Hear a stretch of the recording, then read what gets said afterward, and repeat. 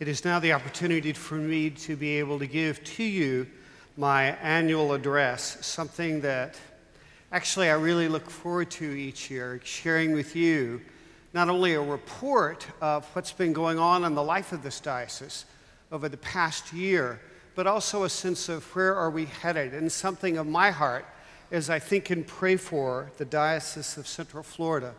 Two quotes have informed something of my thinking. The first is you see right up there Sam Allberry. The person most utterly different to you is no less loved by God than you, no further from his grace than you, no less worthy of the death of Christ than you. It takes a stupendous miracle to save any of us. Sam Allberry is heading up an organization in the UK called Living Out. Um, Sam is a evangelical gay Christian committed to a life of personal celibacy and has been a real voice in the midst of the conversations that have been happening in the Church of England. I would definitely commend his website. Second is from um, a great book on how to think. You got it up there, yeah, Alan Jacobs' book. A part of what we wrestle with right now as a culture is that we are ill equipped on how to think carefully and thoughtfully. Uh, it's all about how I feel in a way that actually negates our capacity to reason. And so I offer this quote Thinking does not have a destination, a stopping point, a, well, we're finally here. To, see, to cease thinking, as Thomas Aquinas explained, is an act either of despair, meaning I can't go further, or a presumption, I need not go any further. What is needed for the life of thinking is hope hope of knowing more, understanding more, being more than we currently are. If you're not checking your presuppositions and doing that kind of interior work, you will always have the sense of feeling stuck. And as a result, incapable of addressing the complexity of the issues that are before us, not only as a society, but also as a church. A part of what it means to love God with all your mind, as well as your heart and your soul, is that you bring the very best of what God has given you to engage in this process of discernment and care for one another. Now, with that in mind, if we could please show the video clip. Volunteers lined up this afternoon, ready to lend helping hands unloading a massive amount of donated food. 50,000 pounds of food represents about one year's worth of giving for a large food pantry. Um, this will be shared among five to 10 food pantries, so this will, this will probably be gone in two to three months. Someone told Reverend John Clark about the untapped food in Jacksonville last week, and as director of No One Hungry, he figured it was worth a call to see if that food could be distributed here. Immediately, we started working on how could we get semi-tractor loads full of it, and what could we do from there. Today, they filled two tractor trailers with 52 pallets of food in Jacksonville and brought it here, where the volunteers lined up to help unload it. It's the largest donation No One Hungry has ever seen. Each box can feed a person for a day, but it will likely be broken down and handed out by individual families' needs. There's cereal and milk in these packages, which will be very, very helpful, especially the milk. We rarely get shelf-stable milk into our food pantry. Pantries across Central Florida started picking up donations today, and now this food meant for those left behind in Puerto Rico will feed anyone in need here in Central Florida. We have a lot of need with all the Puerto Rican families that have arrived, and all our food stocks have been dwindled down to their lowest we've seen. It was like we got a Christmas present from God.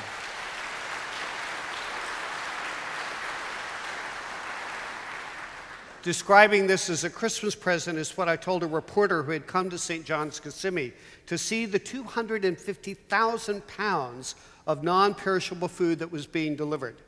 Thanks to Deacon John Clark, who had the contact with FEMA, the support of Deacon John Modis, who arranged for the two 18 wheelers and drivers to bring the food from Jacksonville down to Kissimmee. The as well as the excellent, excellent publicity work of Deacon Becky Chapman and the fine leadership of Archdeacon Christy Alday. In less than one week from the initial phone call, we were delivering emergency food relief to people in need here in Central Florida. As you heard Jose say in the video, the vast majority of the food is going to recently arrived U.S. citizens from Puerto Rico devastated by Hurricane Maria. But anyone who needs it can get it. As Deacon Clark's organization title says, No One Hungry. Since then, to our shock and gratitude to God, over $250,000 in emergency aid has arrived for this very enterprise, mostly from Trinity Church Wall Street and the Episcopal Relief and Development Organization. These generous grants have created the possibility of a center on the campus of St. John's Kissimmee in Osceola County because Osceola really is the epicenter for where many of the Puerto Ricans are going, as again, over 250,000. I really see God's hand in this. If there was ever an opportunity to fulfill Jesus' commandment, I was hungry and you gave me food, I was naked and you clothed me, this is it.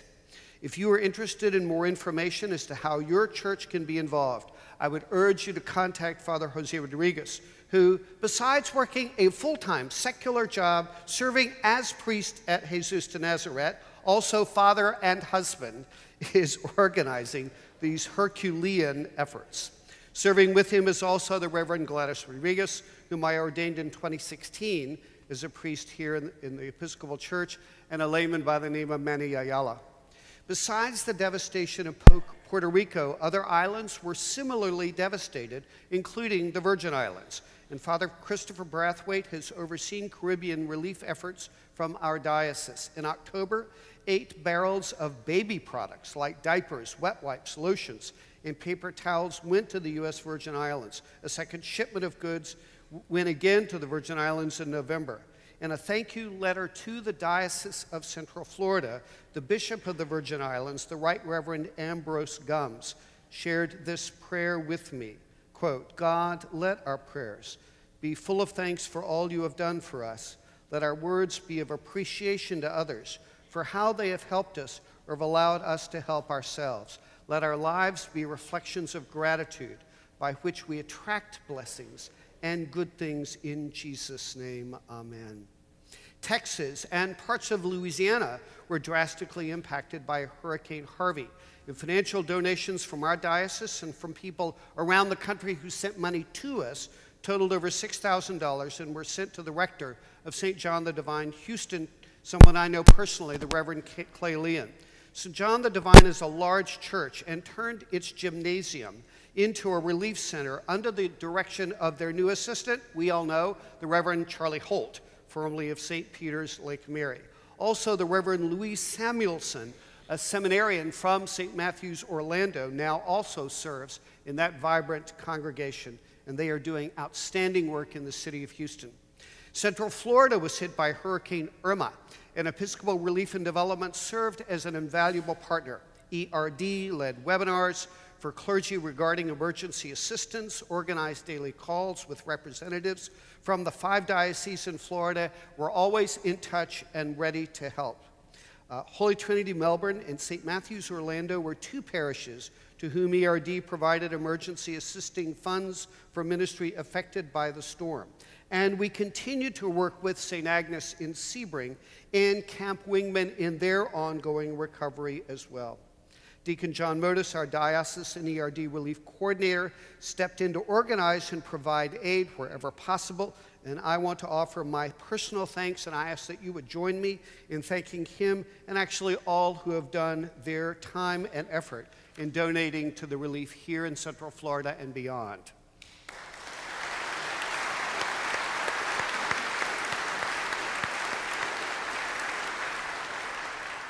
Each of these acts of service act out the theme of this convention, which is embracing our neighborhood.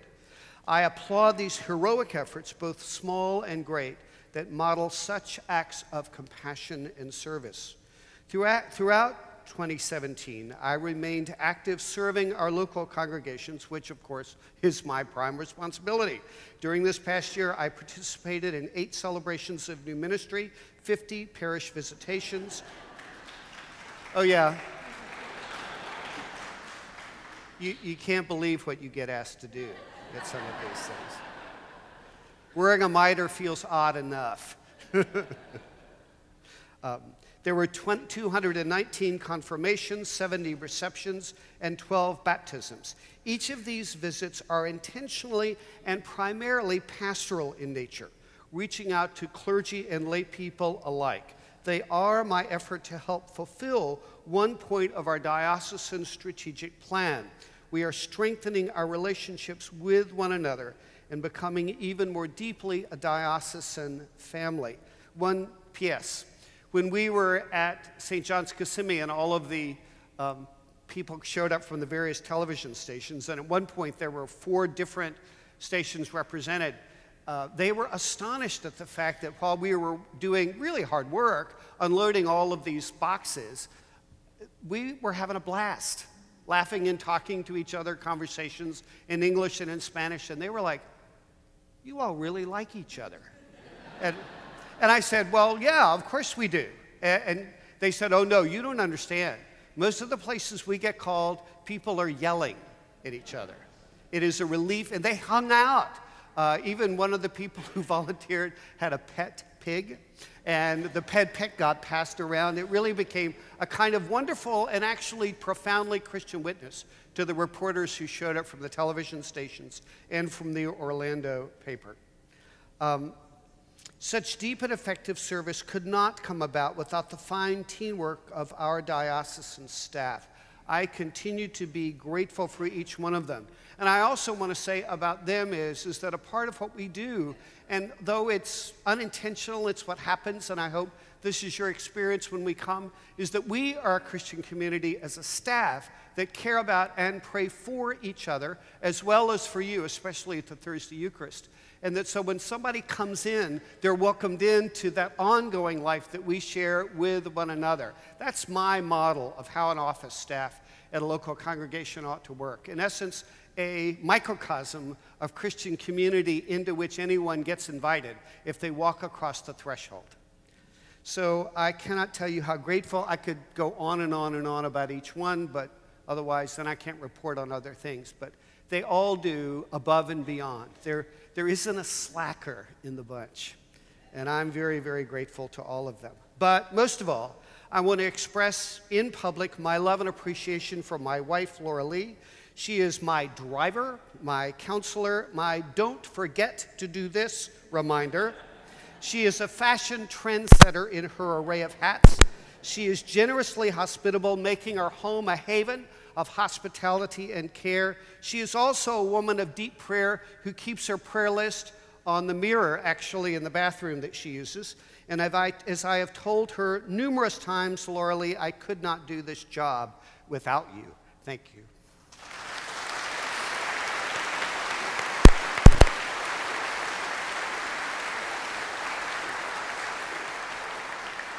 Strategic point two we are raising up new leaders and are committed to doing so both with time as well as finances for both clergy and laity. During 2017, 31 people were ordained 11 to the priesthood, 14 to the transitional diaconate, 6 to the vocational diaconate.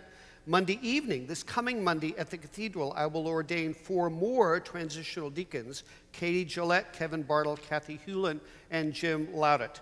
Presently, the total number of people in our discernment process right now is 52. 16 seeking, seeking ordination to the vocational diaconate, 36 seeking ordination to the priesthood. If you are presently in our ordination process, or if you were ordained in 2016, would you please stand?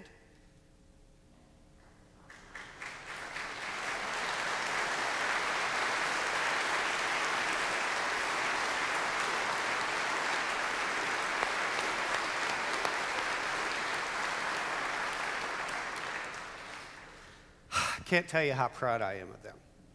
These new ordinands include, a higher number of younger adults, a higher percentage are women, and this group is more racially diverse. Why? Because if you are doing what you can to embrace your neighborhood, people who are representative of those who are, you are trying to reach must be included in your leadership, especially in public.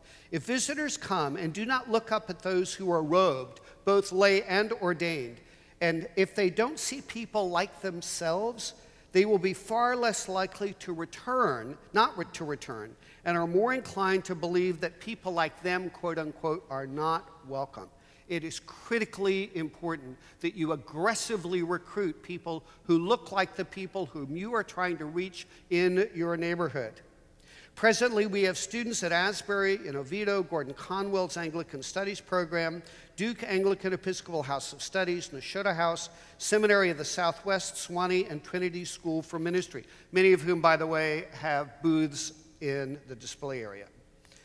Also, our canon for vocation, the Reverend Dr. Justin Holcomb, works directly with all in our priest track to make sure that he or she gets the right classes to adequately prepare them both for the general ordination exams and, more importantly, for good service in the parish. Archdeacon Christy Alday, whom I think you know, cannot be here due to illness, continues to raise the quality and make more accessible our vocational training through the Institute for Christian Studies. More classes can be taken online, and a wider variety of teachers and subjects are available both for those who want to strengthen their vocation to lay service as well as preparation for the vocational diaconate. Check the diocesan website for information. Also, I am pleased to announce, announce that the Reverend Christopher Brathwaite is assisting me in the pastoral care of clergy. Father Brathwaite recently retired from parish ministry, having last served at St. Mark's, Haines City. Besides offering pastoral care to clergy, he is also presently the interim of St. Peter's Lake Mary, and I understand they're having a wonderful time together. God continues to bless those preparing for ordination through the Timothy Fund, a fund that we started here in the diocese in 2014. The fund is a need based scholarship that targets those who are preparing for ordination to the priesthood, primarily in residential programs because they're so expensive. I also want to express my appreciation for all who serve on the Commission on Ministry, especially its chair, Mr. Orman Kimbrough. Orman's southern charm, combined with his thoughtful leadership and the occasional joke, have made him an exceptional chair.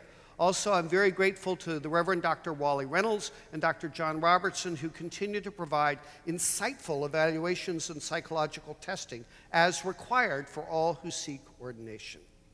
Strategic point three we are looking at our neighbors and facing the missionary challenge that is before us. Besides the large donation of food distributed at St. John's Kissimmee and to other food closets around the diocese, Wonderful work is being done all over the diocese to reach out to our neighbors through food pantries, parochial schools, after school programs, the Open Table Project for resettling the homeless, job partnerships, a new children's service that's way out of the box and doing incredibly well at St. Michael's Orlando, and informal evening services in All Saints Winter Park at the Cathedral, intentionally meant to reach out to people who may not like what we do on a Sunday morning. Also, Deacon Mary Delancey at Grace Church is working through the International Justice Mission in the area of human trafficking. Yes, it happens right here in Central Florida. And Gateway to Hope feeding program, where Father James Giles serves and is touching the homeless and the poor in the Ocala area in the ways that are exemplary. This is not an exhaustive list by any means, but a sample of the good work God is doing through our congregations in the diocese people are catching the vision. In the aftermath of the Pulse shooting, we continued our ministry to the LGBTQ community through hosting a memorial service for the victims at the cathedral, as well as donating through money that we have received uh, over $11,000 to Proyecto Somos Orlando, who have reached out to the Hispanic community in the aftermath of the Pulse shooting. Also, as a follow up, Fathers Adam Young and David Bumstead and Deacon Nancy Oliver conducted a well attended seminar at Somos headquarters entitled Faith and the LGBTQ Community.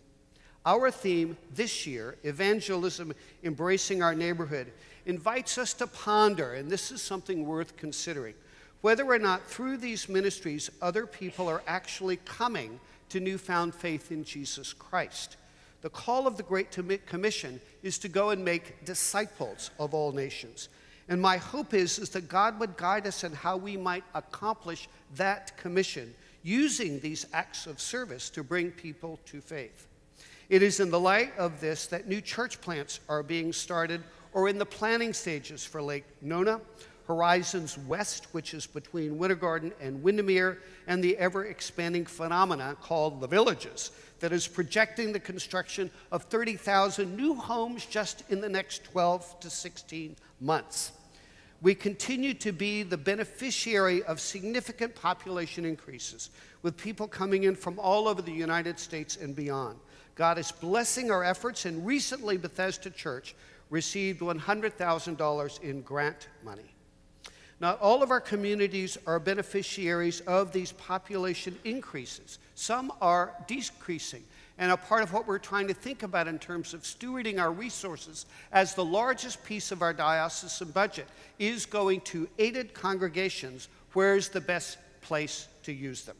And as a result, for example, that has meant that some small congregations that have no prospects of growth and are really only handling maybe a family or two may close in the process. And recently, we closed St. Anne's Wauchula. We realize that supporting dwindling numbers in some of our communities may not be the best use of our resources when other communities are expanding and some at an explosive rate but have no Episcopal Church presence. It is not an easy task, but stewarding our resources is incredibly important. We also have congregations experimenting with new forms of church. These are off site meetings in homes, restaurants, coffee shops, community centers. These new forms of church fall under the heading of fresh expressions, about which you will hear more later today. Strategic point number four we are re- revitalizing children and youth ministry. For several years, the diocese has been in a strategic partnership with the Youth Ministry Institute under the director of Steve, rectorship of Steve Schneeberger. Steve has ably served as a consultant working with both existing parish youth ministries as well as working with congregations who are interested in starting a youth ministry or revitalizing a declining one. One indicator of this fine work is that this time last year, we had 46 parishes with youth ministry, this year, I am happy to report that number has increased from 46 to 68. Steve has stepped down from that position as Youth Ministry Institute Director, but now Mrs. Kirsten, Kirsten Knox has taken his place. Kirsten, would you please stand, as well as any others who are involved in youth ministry here? Any youth ministry worker in Kirsten, if you would please stand. Kathy, Steve, Kevin.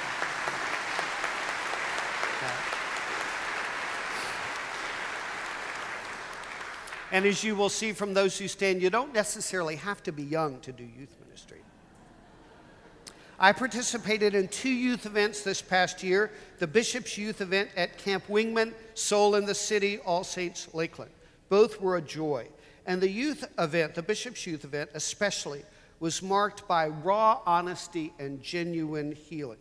It does bring you up short, but step in when you walk into the chapel at Camp Wingmann and there are these two whiteboards up on the stage of where they need personal prayer, and they have things like, I cut myself. I'm addicted to pornography. Things like that. And I thought, well, if you're going to be that honest, let's go. And the Lord really did some incredibly remarkable work over the course of that weekend. You should also know that New Beginnings, thanks to the fine leadership of Phyllis Bartle continues and continues to thrive. The next one is coming up soon. Father Deke Miller has now left his position at Camp Wingmann, having done a, a, good job. He's now priest in charge of Holy Cross Winter Haven because we needed somebody there. And as a result, Father Bill Yates has now accepted the position of interim director, which remember he did that full time before. He's also recruited Joshua Joseph to oversee the summer camp ministry. JJ, as he is known, is an alumni of Camp Wingmann and an extremely capable leader. JJ, are you here? He is going to be introduced later in the program. If you've been a, a counselor on Camp Wingmann, you know the guy and you know how great he is. Uh, this summer will be a very exciting time at Camp Wingman.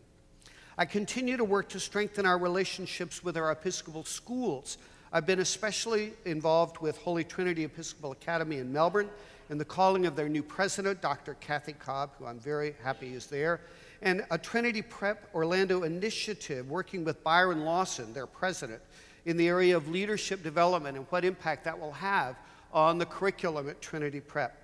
Paul Garcia of St. Barnabas continues to ably lead the Central Florida Episcopal Schools Association.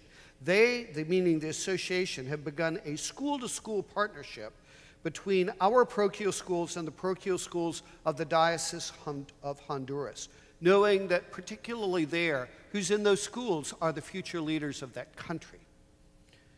Strategic point five we are in a time of discernment, praying and asking God for his leadership in his missionary strategy. This strategic point has been and continues to be, honestly, something of a prayer request. I need God's help to be able to lead and to lead well. I need God to show me His missionary strategy.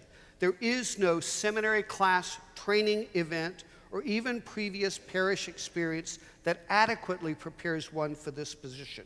In fact, for any clergy person, if you think, I've got this because of your previous experience, you're in big trouble. The fruit of many years of ordination is not, now I know what to do, but instead it is, now I know who to ask for help. One learns through prayer, affliction, victory, to seek the counsel of others and, and the prayers of others, so that one can say with the psalmist, Psalm 121, My help comes from the Lord, the maker of heaven and earth.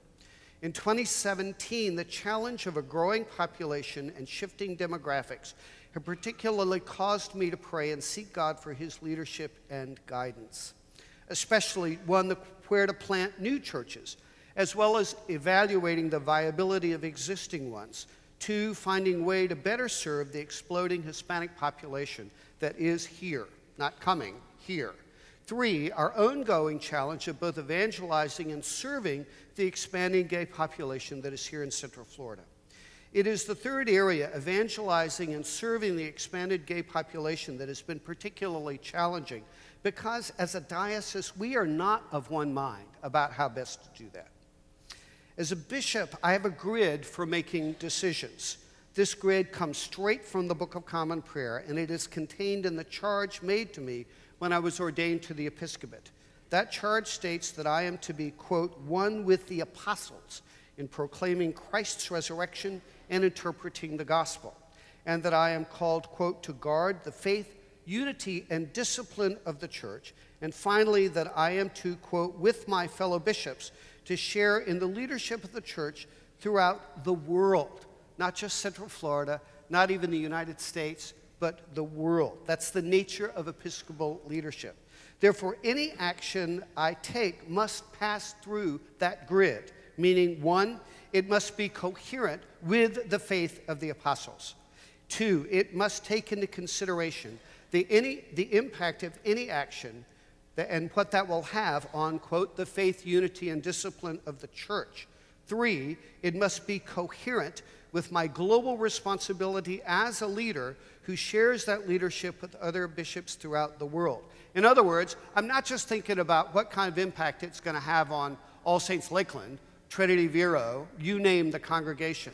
I need to think about the impact it will have on persecuted Christians in Pakistan and I use that not as a hypothetical example, but one that is personal and real. So that in the midst of some of the stuff that's been happening the last two weeks, I was getting WhatsApp, which is where you can text someone and it, there's no charge internationally, from Pakistani Christians I personally know asking me for their prayers as they are undergoing persecution.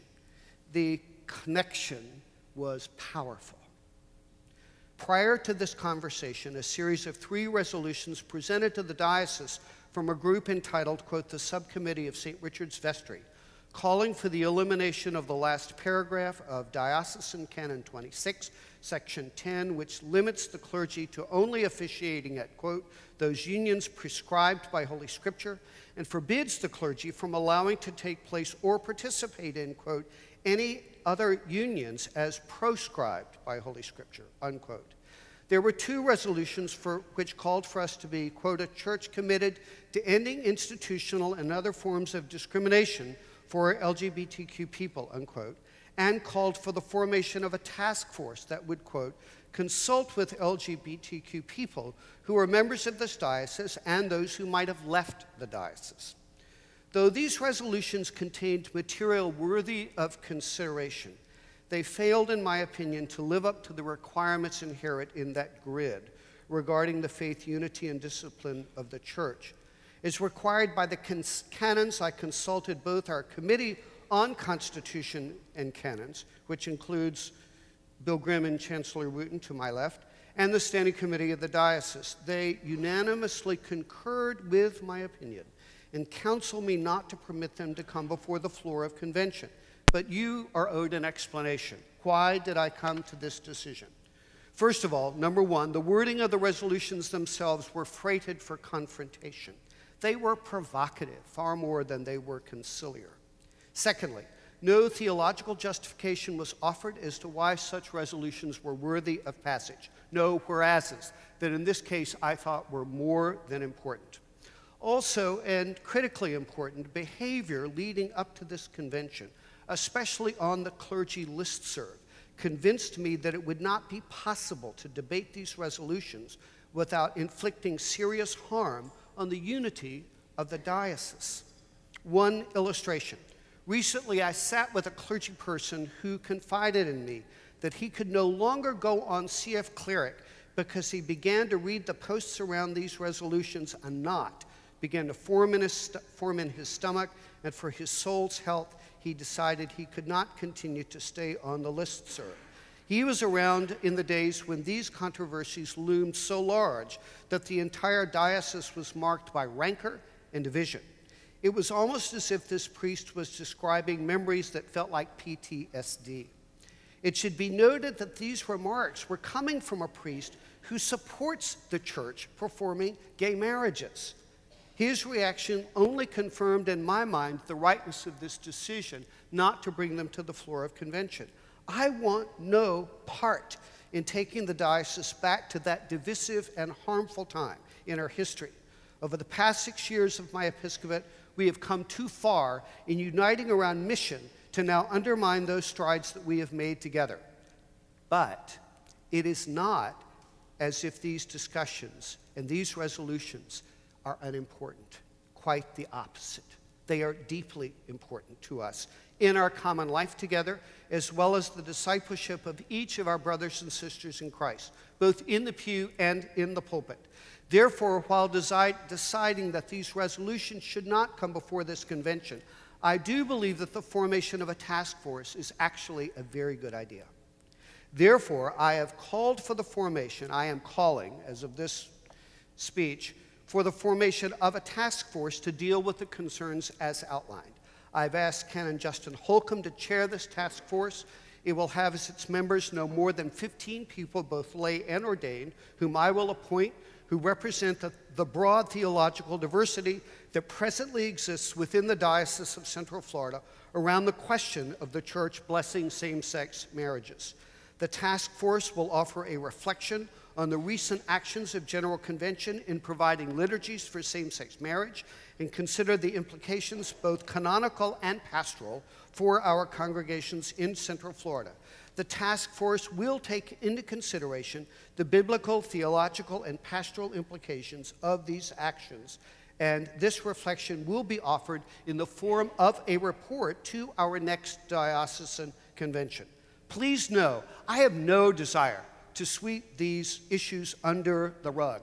And any accusation to that is patently false. However, I want these issues to be dealt with in a way that is coherent with what we have already been given in the prayer book, meaning living together as a diocese in a way that genuinely reflects the faith of the apostles as well as the unity and discipline of the church. That is the context that we have been given. We can't just jettison that for the sake of doing this, you know, whatever that might be, quite honestly. And so that's my job is to make sure those things are in place and set a context for what I think is an extraordinarily important conversation. So you will be hearing more from that. And if you're interested in being a part of that task force, I urge you to let either Canon Holcomb or me know. Besides, it will take some real work, so be prepared. Strategic point six we are taking our place within the councils of the Episcopal Church. I continue to deeply value my friendship with Bishop Lloyd Allen of Honduras. I am saddened that the political unrest in Honduras made it impossible for him to lead the country. There's a contested election, and what's happening is that most of the airports for local Hondurans, as well as even some of the highways, have been shut down. He cannot leave, and he needs to be there for the pastoral care for his people. Please remember him and our companion diocese in your prayers. This past year, I traveled with West Dubic, Honduras Commission Chair, to Honduras in May 2017 for the Diocese of Honduras' Diocesan Convention. It was a blast. Great worship, excellent news about how they continue to move forward toward financial self sufficiency, raising up new leaders for church plants. It was very, very exciting. I begin this section talking about Honduras because Bishop and Allen, Allen and I work closely together as fellow communion partner bishops within the House of Bishops. The passage of same sex marriage liturgies has been seen by almost all of the bishops in Province 9, which is Central and South America, as a very unwelcome development. Their passage has been met by ac- accusations of theological colonialism and a disregard for Hispanic custom. This has been underscored by a long standing criticism by them of the inadequacy of the Spanish language of our, our materials, including our prayer book. These actions almost led, this, for them it was like that's the last straw, led to the possibility of the province uh, petitioning the Archbishop of Canterbury to separate from the Episcopal Church entirely and become their own Anglican province. It was only the heroic leadership of Bishop Allen that kept that development from happening. We owe him a lot. You see, the Episcopal Church's commitment to general, and this is probably one of the most important things I want to say. The Episcopal Church's commitment to genuine inclusion of all of its members has been thwarted by our commitment to govern by resolution and majority rule. Instead of acknowledging the significant differences of theology, geography, and culture, and working toward a consensus that would reflect that diversity, which would really be genuine inclusion. Our history indicates that we have taken the lower road of convention resolutions, working the political system, gathering votes which would allow the majority to win, but without the true win of consensus, only the win won by power but displayed by those who know how to work the political process. This does not look like the church of the New Testament to me, and it leaves me weeping. The New Testament church could work together and come to the point of saying, It seems good to the Holy Spirit and to us. Can we not find a way to do the same? Both theological liberals and theological conservatives have played the game of politics resolutions, and the result has been internal polarization and the dwindling size of our church. It is only now where we see that the Episcopal Church is only a shadow of its former self, and the American Anglican alternatives are really no better. That we are coming to realize that the political process exercised at our General Convention is no longer serving us well. Many in the Episcopal Church thought they could ride either the tide of political justice on the one hand or the mantra of biblical values on the other, and do their best to mow down the opposition by votes and parliamentary procedure. Neither side looks like Jesus to me. Meanwhile, many in the global communion are aghast at the way we treat each other. And the secular world only knows us by our political slogans or our sexual scandals. It was this very spirit that almost split the Diocese of Central Florida 10 years ago next month, when the animosity was so high that several churches left the diocese altogether, including the majority of the membership of Trinity Church Vero. Can we in 2018 find a different way? I must confess to you that the challenges that are facing us population explosion, the bubbling resentment over the growth of the Hispanic population here, financial greed, the spirit of our age in which we live, where, quote, political might makes right, unquote, and the train wrecks of poor leadership and sexual misconduct seem insurmountable. In many ways, we are doing much better than we were 10 years ago. But if ever there was a time when we needed God to lead us into this future, it is now. So, as I begin to bring this address to a close, I would like us to do something different before I finish. I would like the musicians to lead us in a song that is, in fact, a prayer. It's a prayer asking God to come and bring about that which only He can do. So, prayerfully from the heart, musicians lead us.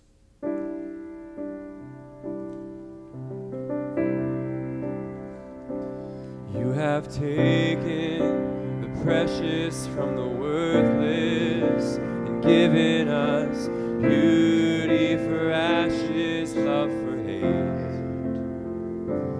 You have chosen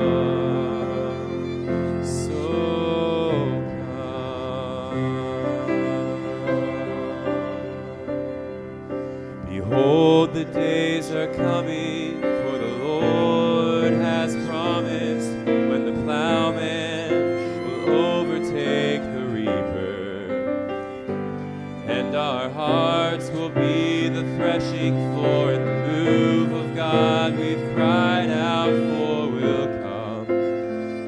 Surely come, and you will shake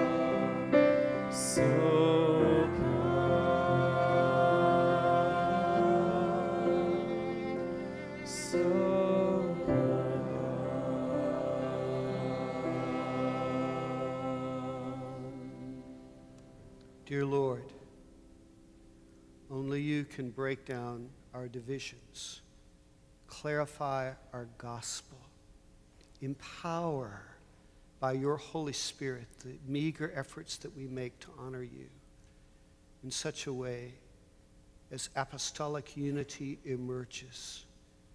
People come to faith in Jesus, and our hearts are glad as the fruit and gifts of the Spirit flow in our midst to the glory of your Son. So, dear Lord, we do ask that you would come and do what we cannot do, but are so desperately you needed. Help us, Lord, to wash one another's feet, serve the world in your name, that many sons and daughters will be claimed and into the kingdom of God. Help us, O oh Lord, to not just look in the rear view mirror, but serve and to serve well, to the honor and glory of your name. Through Jesus Christ our Lord. Amen.